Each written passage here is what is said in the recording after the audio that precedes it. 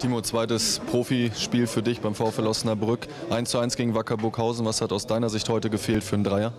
Ich weiß nicht, wir waren nicht zielstrebig genug nach vorne. Wir, wir machen das 1-0 genau, was wir uns vorgenommen hatten. Kriegen dann nach der Halbzeit bitteres 1-1, Freistoß nach dem Freistoß. Ja, ist scheiße gelaufen. Am Ende denke ich, haben wir alles versucht, aber sollte nicht sein.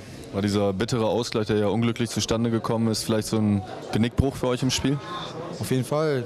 Wir kriegen in der äh, 50. Minute was, glaube ich, oder so, kriegen wir das 1-1 und wir waren natürlich geschockt. Wir dachten, wir wollten zu Null spielen, haben wir nicht geschafft und hätten wir zu Null gespielt, hätten wir heute gewonnen. Ja, das ist blöd gelaufen.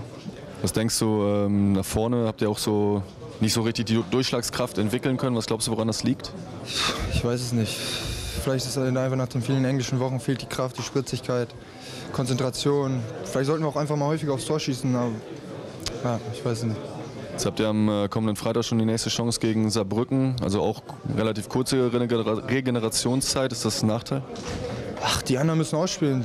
Die haben heute auch gespielt und ja, wir, müssen, wir können jetzt enttäuscht sein die nächsten beiden Tage, aber Dienstag müssen wir uns wieder voll konzentrieren auf Saarbrücken.